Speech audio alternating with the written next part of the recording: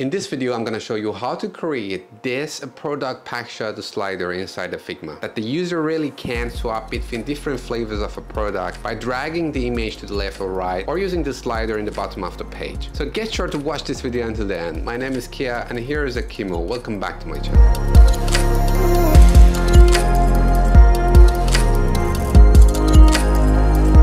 In this video, you're gonna learn how to use the prototyping tool to create the swapping or sliding effect inside your prototype. There are some tricks that I'm gonna share with you, but before we continue, I would like to ask you to take your time and subscribe to my channel by clicking on the subscribe button and like this video. This is gonna be really valuable for me to continue making more content related to user experience and user interface design. And besides this, I really like to make content related to your problem, issues, and ideas. So I'm gonna check the comment section after each video. I will pin the ideas in the comment section and then I will work on them for the next video. So get sure to share your opinions, your feedbacks, or the topics that you would like to see in my channel in the comment section. Now without further ado, let's get started. I'm gonna start by designing the user interface. I have already downloaded the pack shot of the product from the Red Bull official website. Now I'm gonna make a new frame. I choose the iPhone 13. Then I copy paste the pack shot that we have into my frame. Then I'm gonna add a rectangle behind the pack shot and then change the color to something like a blue. And then I'm gonna pick the text tool and write down the name of the product. I play around with the styling of the text and the position and appearance of it. In the next step, I'm gonna work on the slider that we have in the bottom of the screen, that the user can switch between different flavors of the product by sliding that user interface element. I simply make a circle layer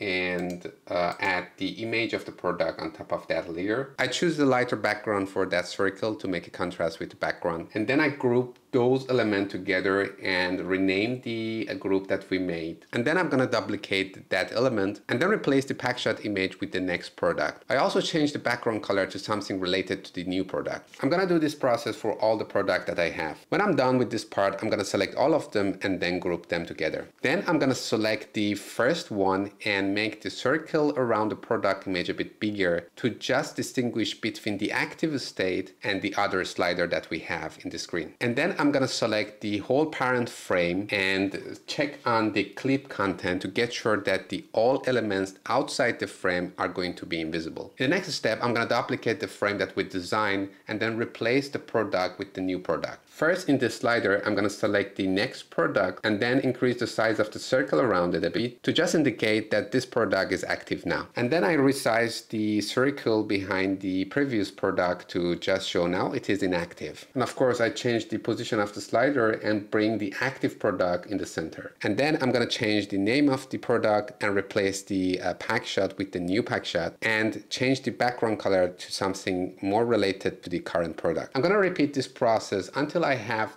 different frames for every and each product that we want to have. Now it's time to work on the prototype and create our sliding effect. Now I'm gonna select the slider layer in the first frame and then go to the prototyping panel and connect this layer and group to the next frame. I set the trigger of this interaction to on drag and the type of transition to navigate to. Here the important part is to set the transition type or animation type to push and not to auto animation. If we want to create this effect between only two frames, then it's fine that we kind of set the animation type to auto animation as well. But if we want to have more than two frames, that means that the user can slide left and of course right at the same time. When we put the animation type or the transition type to the uh, push, then we can define that the transition should happen from right side or to left side. When the user drag the item to the left, then the new frame will slide in from left side of the screen or the other way around. If you want to have control on the dragging direction or sliding direction, set the animation type on the push and then define the direction that the sliding is going to happen. The next point is that we have one item here in inside the prototyping panel, when we set the animation type on the push, then we have this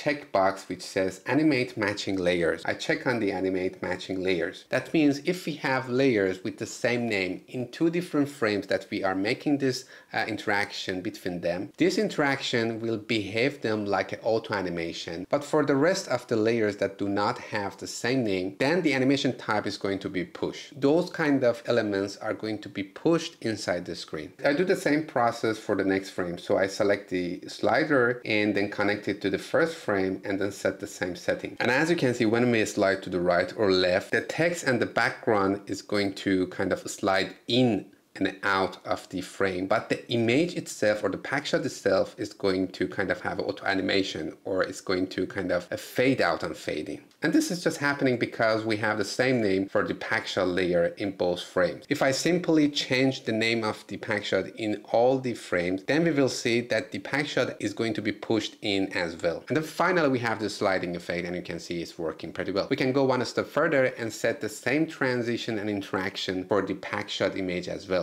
which means we need to connect the pack shot in each frame to the next frame and then set the same interaction setting for it. Then whenever the user uh, kind of swap left and right on the pack shot itself, we will have the same sliding effect. And that was it for this video. I'm gonna publish this file inside the uh, Figma community that you can have access to it and kind of do the practice on the real file. And you can find the link inside the description. And at the end again, uh, get sure to subscribe to my channel, like this video and leave a comment from me. Let's learn together and see you in the next video.